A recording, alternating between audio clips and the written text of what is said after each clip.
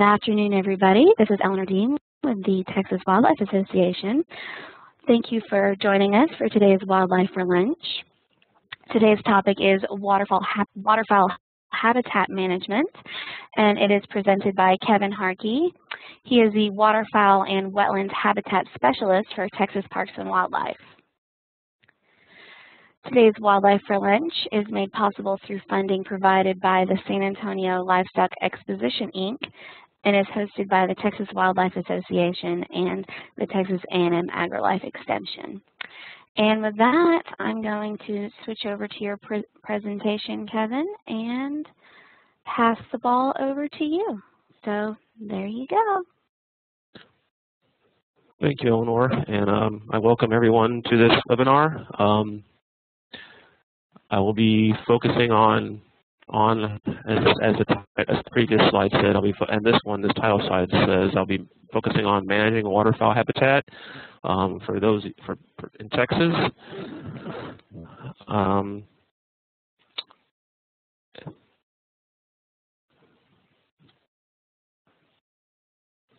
Okay, here's next slide.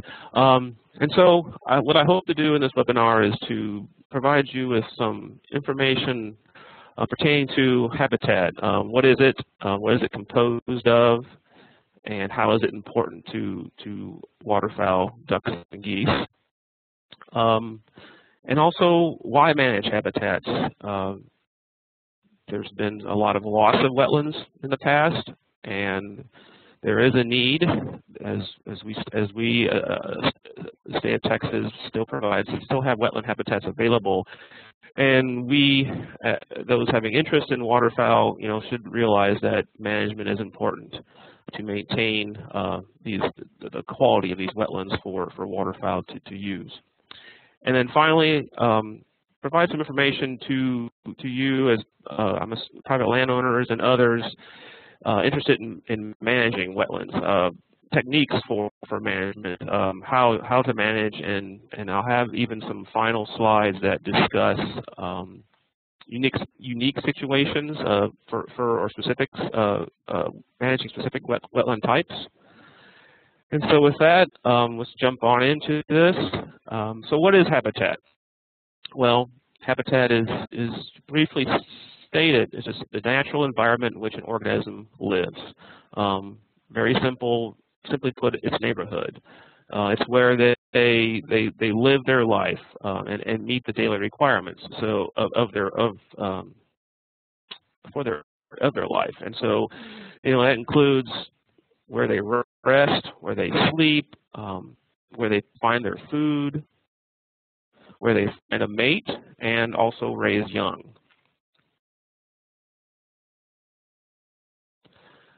And so habitat is, is composed of, uh, four components. Um, and this is not just specific to waterfowl, but for for um, for all for all animals, these basic components are, are necessary. Uh, and so, starting with food um, for for waterfowl, this can be either plant or animal. Um, both, uh, you know, ducks and geese are adapted to, to using different types of plant, of either you know plant materials being seed or her uh, actual uh, uh, vegetative uh, parts, or they can even feed on um, invertebrates, uh, wetland invertebrates being you know like little bugs and and other critters like snails and even small fish or tadpoles in some in some cases. Um, water is important. Um, this is, you know, the name waterfowl, you know, water is part of the word waterfowl, and, and, and water is important. They, they use it for drinking. Um, many, many ducks need water to feed in, and they use it for, for loafing, for resting. And then finally, you know, in Texas, require water to raise young. Uh, cover is important. Uh, it provides protection from, the, from, from extreme weather, and also as a, a way to escape predators. And then finally, uh, space is, is, is important for in terms of for the uh, habitat. You know, you have to think about the amount, the type of habitat, their amounts, and their arrangement on the landscape um, are all important uh, in in having a uh, in terms of a landscape being suitable for waterfowl to use. So starting with, with food, I just wanted to be a little more specific and, and talk about um, that, uh, mention that, you know, that species, that there are multiple species of ducks and geese, um, and I'm going to be tying, for this, for these next couple of slides, I'll be talking mainly about ducks, but, you know, they're, they're adapted to, to different, to foraging on different food types. Um, so for example, uh, large-bodied dabbling ducks such as mallards and pintails um, feed on, on, on seeds and on uh, animal um, animal prey animals such as you know, little aquatic bugs and snails.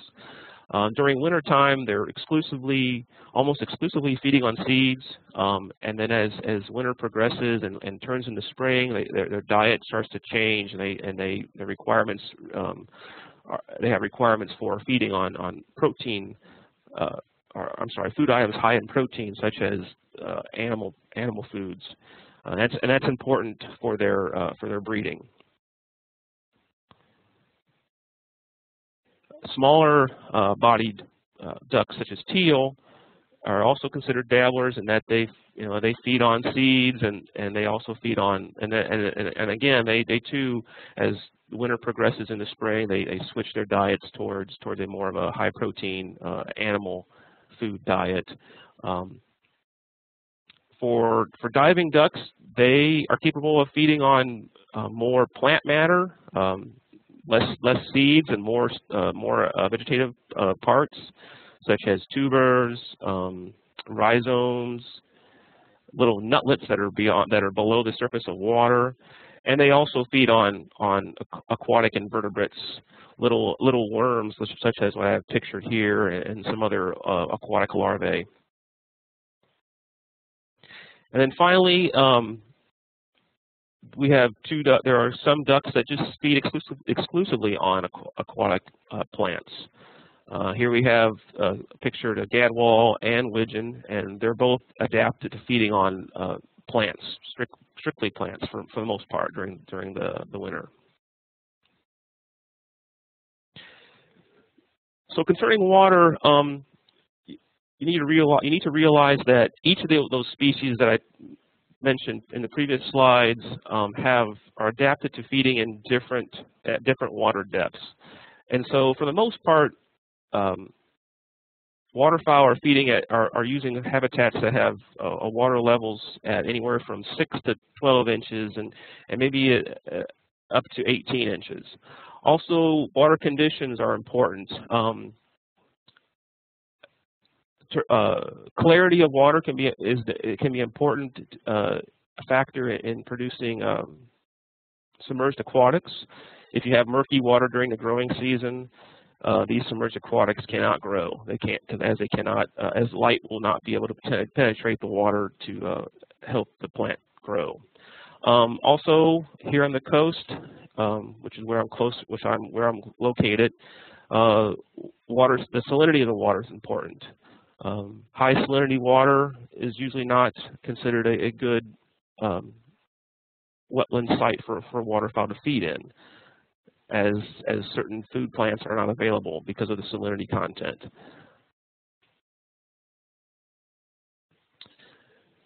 And so as I mentioned earlier concerning cover, um, it's, it's important for providing, uh, providing protection from the elements, and also uh, a way to escape predators.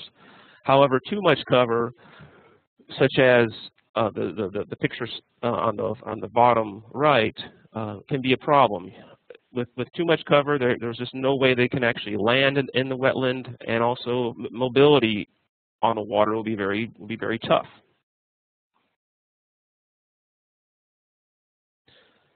And this this slide here depicts an example of, of what I meant by space.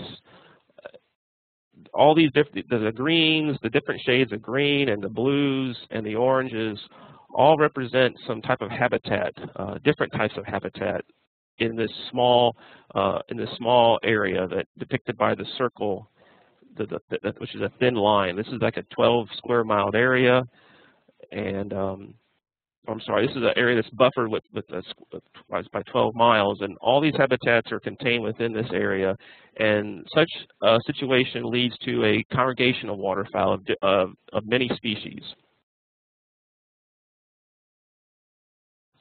So why do we manage habitat? Well, first off, you have to realize that we've lost a lot in over time. And then second, um, in Texas, the state is an important area for, for waterfowl.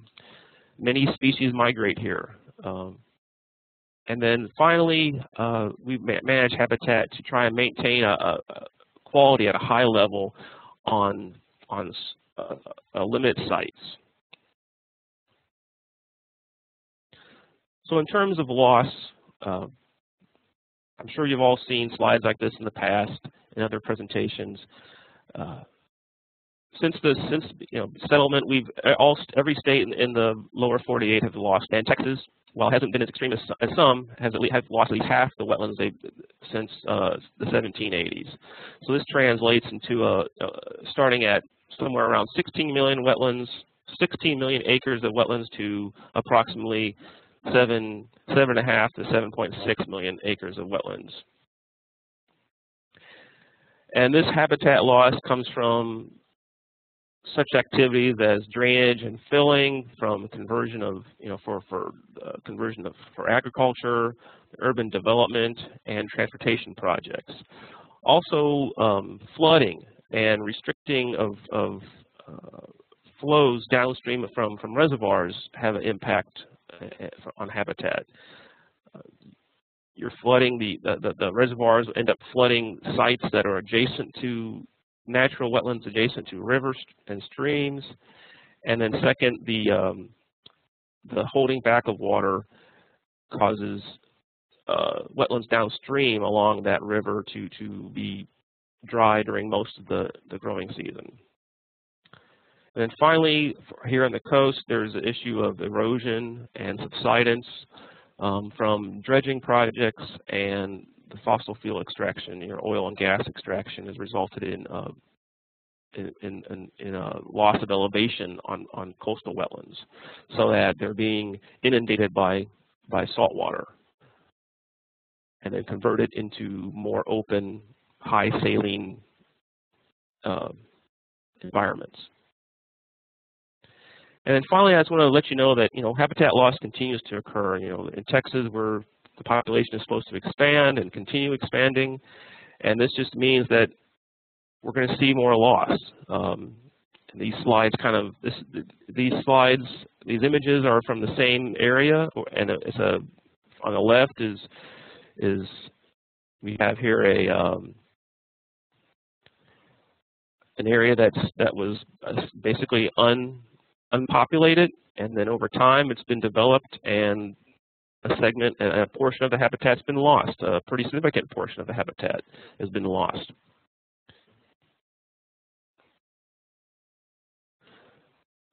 So Texas is, an, is, is a important area for migratory waterfowl. Um, from winter, looking at winter, uh, looking at winter counts by, done by biologists, Texas accounts for nearly 70% of all waterfowl counted in the central flyway in winter. And this translates into uh, roughly 3.7 million ducks and 0.7 million geese migrating to Texas each winter. And so if we continue to lose habitat, there's, always a chance that we may, it may result in fewer waterfowl migrating to Texas. So we manage habitat to improve their quality and, um, and improve the quality of, of fewer habitats that are available in an effort to raise the what we call the carrying capacity to to um, make habitat suitable for a larger number of ducks and geese. And so you try to take a, a piece of habitat um, like here on the left that's choked up in, in that is choked up with vegetation that does not produce any uh, seeds and, and food for waterfowl to a site that is is more suitable for for foraging. It, it, it has plants that are that are annual plants that produce are capable of producing large crops of seeds that, that ducks and geese tend to uh, tend to feed on. So what can we do to um, in terms to, to improve the situation and improve uh, habitats? Well, you can conserve areas of conserve wetland areas that are that are high in diversity and quality. Um, however, just by conserving an area, you still need to think about how to make it uh, maintain uh, a high quality. You can restore a site to a uh, to to a to a to be more beneficial to waterfowl. And you can also create new habitats in, in sites where uh, wetlands did not exist previously. And then finally, you can manage um, created wetlands and existing wetland habitats intensively to, to maintain a high quality and to bump up that carrying capacity to support more, more numbers of ducks and geese. So what are the components of good wintering habit of good wintering waterfowl habitat? Well, it's a as I probably mentioned before, it's abundant food, and that could be either that could come from seeds that are produced by abundant by uh, annual plants such as smartweeds and, and millets. Um, it can also mean invertebrates such as aquatic bugs, snails.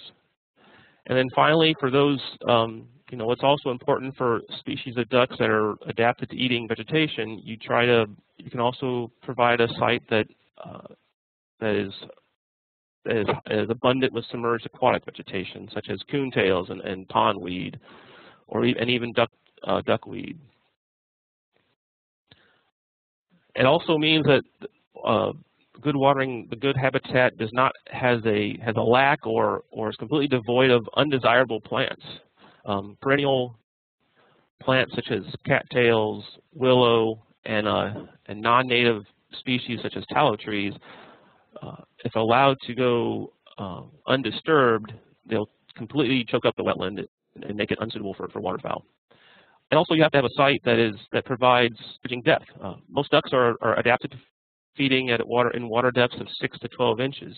And so you want to try to provide this, this foraging depth um, across the majority of the wetland uh, to be for, to be have optimal conditions.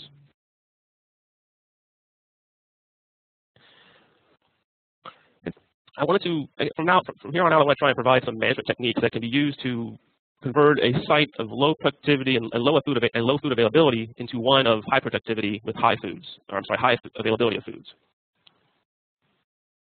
First, though, I want to talk about plant succession, as it's important to know, um, have understanding of how plant succession ties in with managing habitats and providing habitats that are uh, high quality for waterfowl. Um, over time, without any kind of disturbance, uh, habitat can can can be converted, can be can change in, in the vegetative community. Uh, you can start with annual plants that are adapted to they're adapted to disturbance, um, and as disturbance declines and the habitat becomes and the conditions become more constant, the site is changed by cha by being converted into uh, a community that's composed of perennial pl plants and grasses that produce fewer seeds and then eventually it will turn into a more shrubby habitat, and ultimately, it can, without any kind of disturbance, uh, tree, it can become more of a forested uh, type habitat. And so for wintering waterfowl in Texas, uh, the, what you want to try and achieve in, for, in habitat management is you want to keep the habitat in the stages that are here on the left side of the dot, of the red dotted line.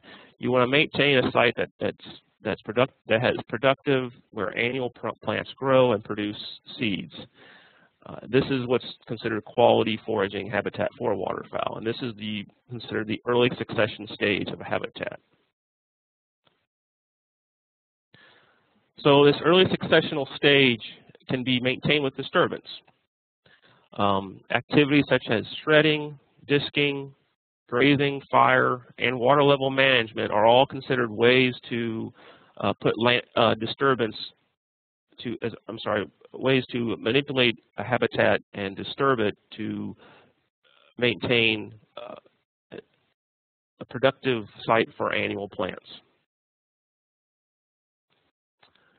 So I wanted to go over each of them and provide some uh, pros and cons of each uh, of each management technique. So for shredding, you have to realize that it's just simply you're simply mowing the vegetation, and so it doesn't really necessarily change the plant community, but it can set back woody growth. Um, it also can uh, open up holes in dense areas prior to flooding. And then sometime, and in some situations, you may be able to still shred when the site's not completely dry.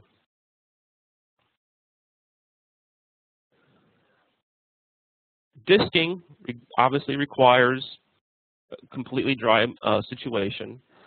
It, it, it's more successful in setting back succession, um, but this, this also depends on the depth of your, of your equipment that you're, that you're pulling through the soil. Um, it helps create a seed bed for, for planting seeds and can and also stirs up the seed bank to expose um, seeds that have been in the soil for a period of time and, and, and helps them to germinate. In situations where organic matter had accumulated because water levels were maintained at a constant at constant levels over the growing season, disking can break up that organic matter and uh, help it help return the nutrients into the soil. Um, it, it, too also, uh, disking also sets back woody growth and is capable of killing species if you're able to uh, uproot the, the plants. And disking as well opens up holes in dense areas. Prescribed burning. Um, this, this also sets back succession. It's helpful in, in, in, in setting back woody growth and may even kill some species of, of shrubs. However, it can be somewhat patchy in, it, in its uh, in how it uh, is applied to the to the habitat. You know, some you know, wetlands can be sometimes too wet, and the vegetation may be too moist for for it to catch fire. And then second, you have to always worry about you know the the, the fuel loads and the weather conditions, primarily humidity and moisture on the on the ground for, for uh, to have an effective burn. Grazing. Cattle grazing can be used um, as well in managing wetlands. However, you must however you must manage it or monitor it closely. Um, cattle like to eat a lot of the plants that that produce seeds that that waterfowl eat. And so if you have cattle for too long, if you have cattle on a wetland for too long during the growing season, you may, or, quite likely never, you're not going to produce any uh, food for, for ducks and, and geese. And also it's some, cattle can be patchy in how they disturb the landscape.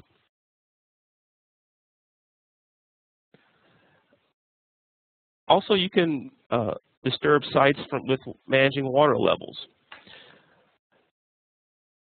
seasonal drawdowns, either managed or natural through evapor just natural evaporation, encourage growth of, of favored encourage the growth of those favored early succession plants that produce abundant seeds.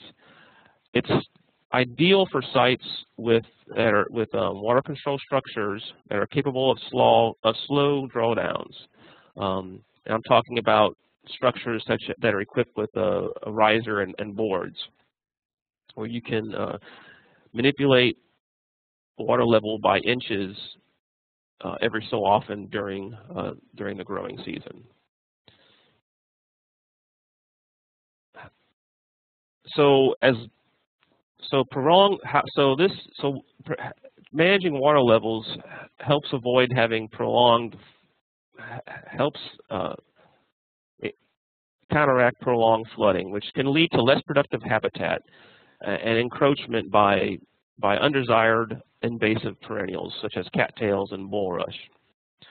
Also, you must think that must realize that um, drought can be an effect can be an a beneficial for natural wetlands where, where managed drawdown is not possible. It also provides that stimulation for the for the growth of early successional plants. Herbicide is somewhat more of a selective way to um, to tar to uh, to uh, to uh, reduce growth of undesirable plants, and also control the growth of non of non-native plants as well. Um, you can target you can target specific plant types, be selective in, in how you in the areas of, of treatment. However, you must know your plant communities. You must understand what kind of species are out there because some herbicides are more effective on on one herbicide may be more effective on a, a certain on, uh, one species versus other herbicides.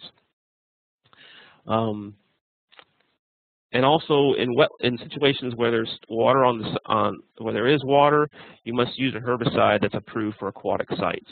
And, and usually the, and usually the label tells you this.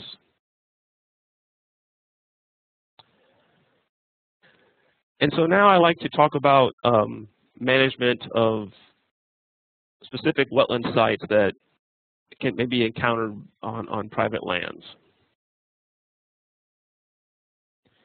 One of the most typical uh, situations in Texas is, is for, for managing wetlands are, are moist, is moist soil wetland management. Here, this, this type of management uses water level management to mimic the natural process of seasonal flooding and drying to stimulate the production of seed-producing plants to and to maintain that early successional stage in the plant in the plant uh, community. It's typically um, done on a designed wetland. Um, what I mean by that is a site that is either a uh, wetland that's either been enhanced or even created through the use of levees and water control structures and even um, a, a, water source that's dependable, such as a, a well or maybe some other kind of irrigation source. It does, this type of management requires disking every two to three years, again, to bring that disturbance and, and break up uh, break up the soil and limit the growth of, of perennial plants. As I stated earlier, it, it, it's, it's using a, it uses drawdowns and to, to encourage plants to grow. However, there's a by timing the drawdown at different periods of the growing season, you can influence the growth. You can, excuse me, um, you can promote different plants. And this is the table that sort of helps explain this. Um, so starting with a drawdown during the first 45 days after the last frost, you have there's a pot there's a uh, you have a plant response that results in the growth of smartweeds or chufa flat sedge, um, spike rush, and millets. These are plants that do well in soil temperatures that are cool to moderate, um, and the high rainfall during this period of the year helps provide helps these plants grow. a mid-season drawdown is also also produces millets and other uh, beneficial waterfowl foods, but it also leads to um, leads to the growth of less productive species such as uh, coffee bean and cocklebur. These are usually species you don't want to see in these impoundments. So you might have to do some kind of management if you're if you're forced to do a mid-season drawdown, you might have to do some management to, to reduce these to reduce coffee bean and cocklebur.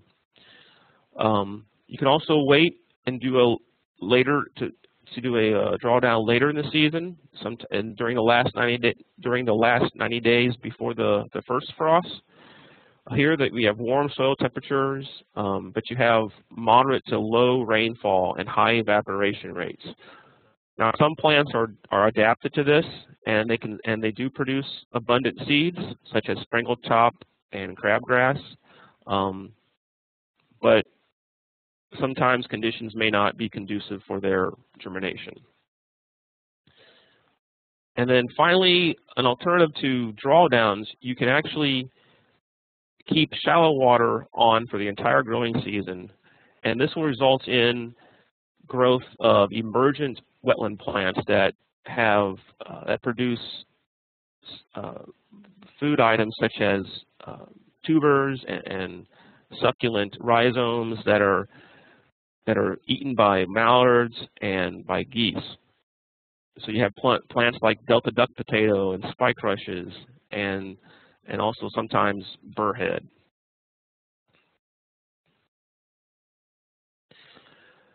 Here's another example of, of common wetland types in, in that on, pri on private lands. Uh, stock ponds.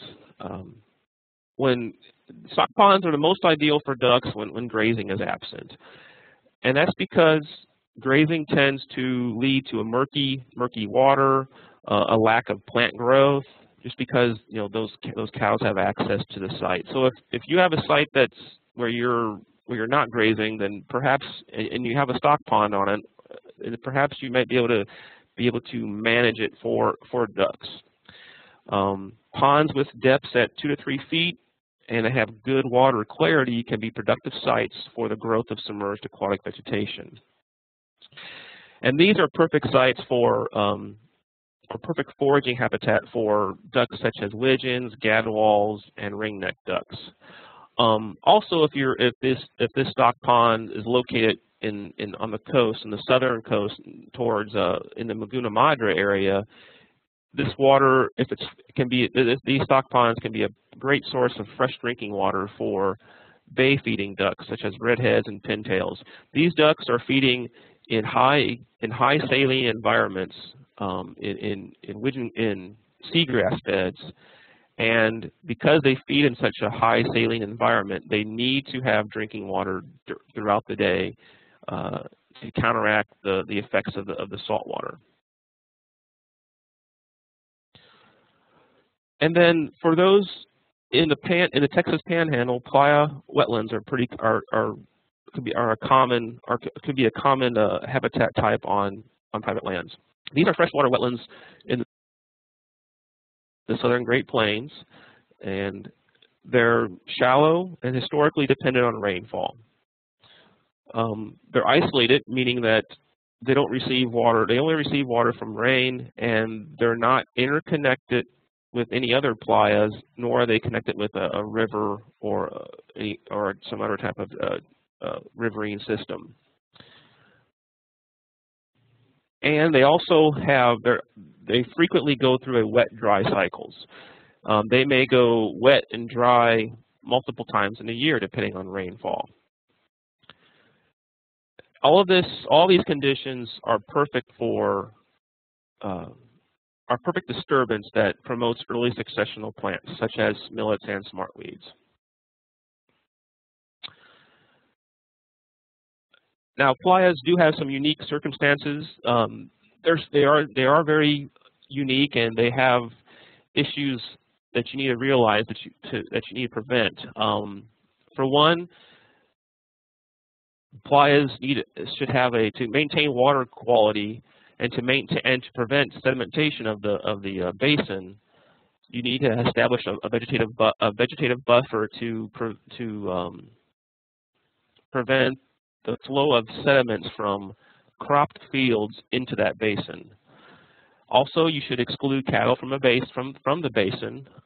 If if not, you're going to end up having no food as the as the cows will eat that will eat the plants that produce seeds that ducks like to eat.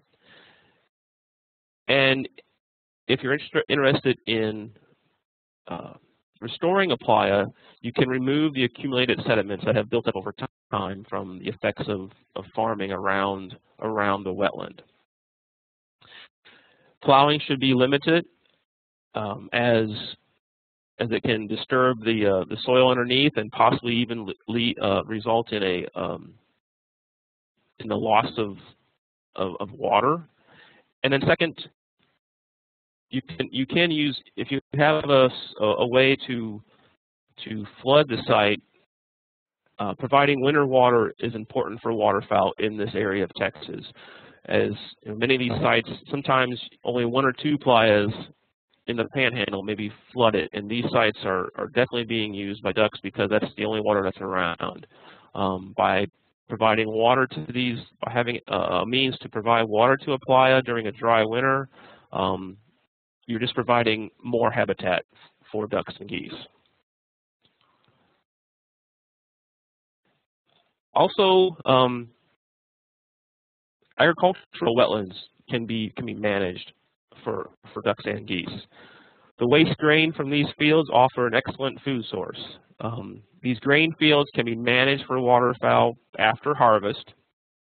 Um, for rice field, uh, so rice production is is definitely one of fits one of these categories. Um, rice field infrastructure facilitates water level management. The uh, the levees, the levees, and the water control structures are already there and in place, and sometimes even the water source is there, um, providing easy an easy way to uh, manage for for wintering waterfowl habitat. Um, you can also do manage for habitat on row crop fields where, such as corn and milo, that are that also is, considered excellent. Is also uh, these waste grains are also used by ducks and geese, and so and you can do this in, in where there's low where there are low spots. If you can um, add a add a levee to hold water, or or just simply provide water to a to a site, um, this is another way of of managing an agricultural wetland. Um, also, you must consider the distance to roost water. These sites may or may not be used for foraging depending on the distance to to to roost water where especially in the case of geese geese um, tend to use agricultural sites that are tied to some kind of a roost water where they can spend the night and also spend the day resting after feeding. Well, that's um, that's basically the end of this and of this presentation, and I'm willing to take any questions you may have. All right, thank you. So if uh, if anyone has any questions, please post them in the chat window to all participants, and I will relay those questions over to you, Kevin. And so far, nobody has asked anything. We had a question early on. Someone was wondering if these are going to be available online um, afterwards. So, which they are. I posted a link, um, but they're available on our website, texas-wildlife.org. So if anyone wants to view this or any of our other ones, then um, you can go there. Okay, we have a question here. Is uh, is TPWD available to come look at a site and make reservations, or excuse me, make a rec recommendation? Um, yes, we are. Um, depending on where you're located at, um, there are biologists, or likely biologists in your area, and we have we have biologists that are specifically um, available for private land recommend to provide recommendations to private landowners. And I believe, um, yes, there is a website.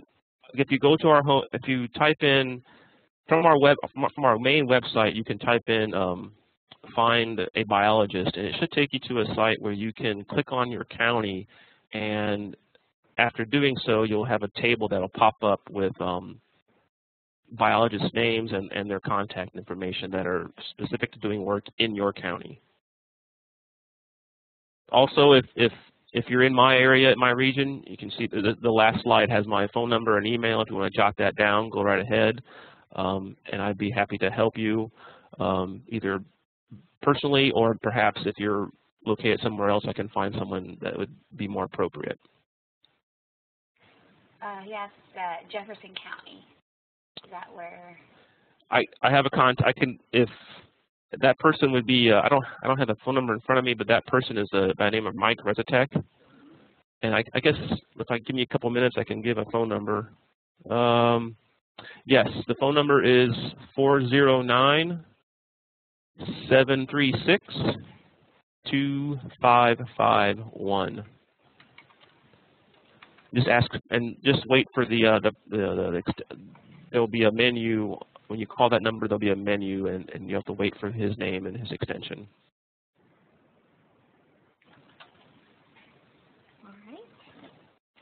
So if anyone else has another question, please uh, please post them in the blank here in the all participants in the chat box if y'all have any other questions for Kevin. And um, oh, somebody asked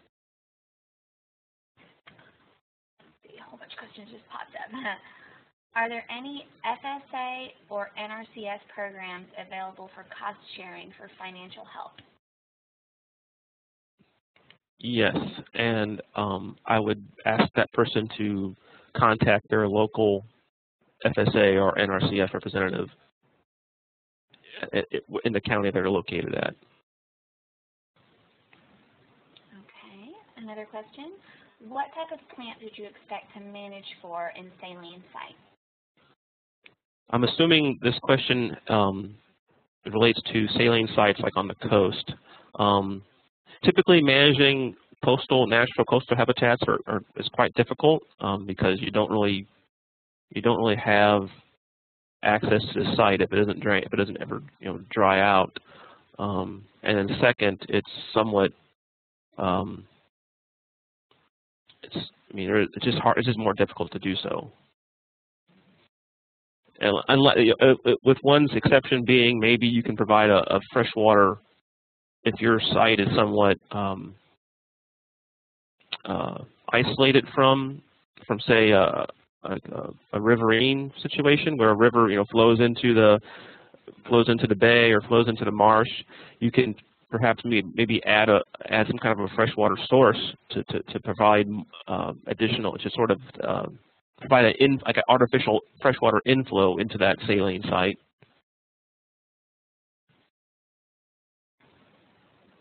Okay.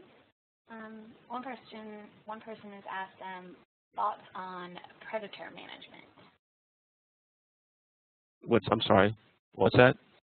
What are your thoughts on predator management?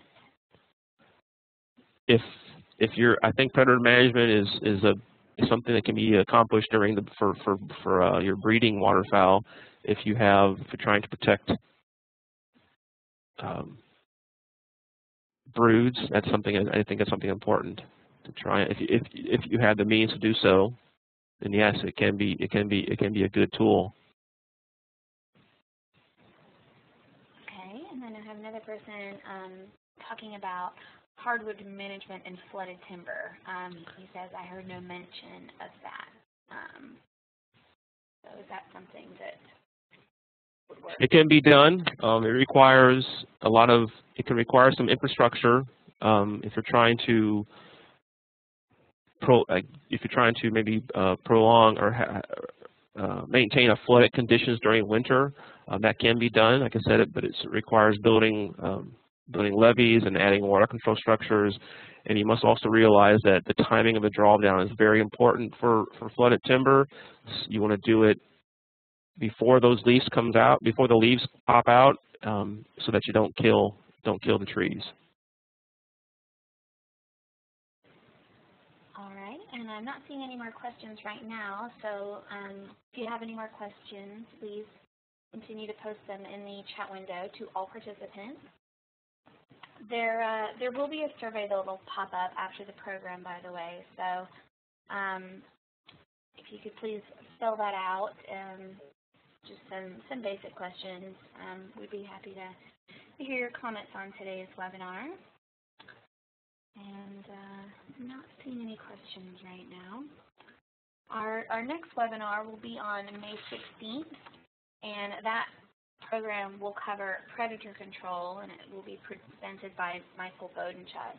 So that'll be our next webinar. I'm not seeing any other questions, so um, I think we're getting ready to wrap up. Oh, here's a question. Um, so somebody says, I planted millet last summer. Can I expect to reseed this year? It depends. Um, sometimes, generally, sometimes millet in the right conditions is able, are able to volunteer the next, you know, the, seed, the the seeds that were produced from those plants that you that you put in the ground um, are capable of germinating the following season. You just, you just have to monitor it closely and see what happens. But it's quite possible you may still have to, you may have to seed again. then we have another question about plants. Can you transplant smartweed from one location to another? Transplanting, I guess, meaning by taking a plant and moving it into an actual, you know, plant that's already growing and moving into another site. You can, um, however, I think it could be somewhat, somewhat difficult, somewhat labor intensive. Um, mean, you could uh, seeding might be easier if you try to harvest the seeds from the site where you have where you have SmartWeed and bring it into another site. Uh, I don't know of any. I do not know of any vendors, um, commercial vendors that provide that have a source of, of SmartWeed for sale.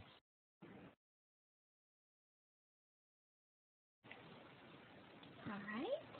So that's all the questions again for now. So if you have any more, please post them. And uh, thank you so much for coming and doing this today for us, Kevin, especially at the last minute with all the all the switch arounds. I really appreciate that. Kevin doing.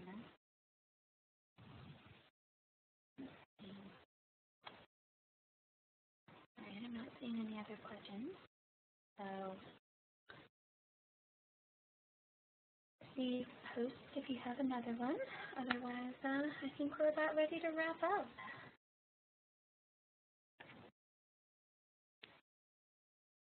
All right. Yeah, I think that's the last of our questions. So um, thank you so much. And as you can see, Kevin's um, information is here if you need to contact him, as well as on the website.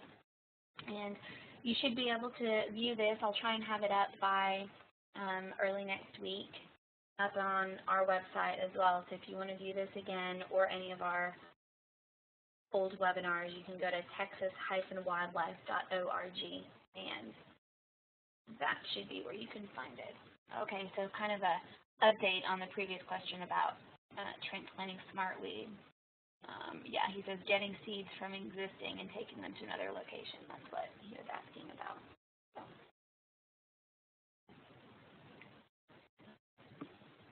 All right, so um, guess with that, I'm going to close out today's presentation unless you have any additional comments, Kevin. No, um, thank you for the opportunity to uh, to participate in this webinar. Yeah, thank you I hope for I, coming and helping us out. and again, if you know people can use my contact information on the slide on the, on the last slide to um, talk to me individually if they have other questions or are seeking help with with um, with management. All right, thank you very much then. So with that, I'm going to close out the webinar. So thank you everybody for joining us. And uh, thank you for presenting today. Thanks. You're welcome.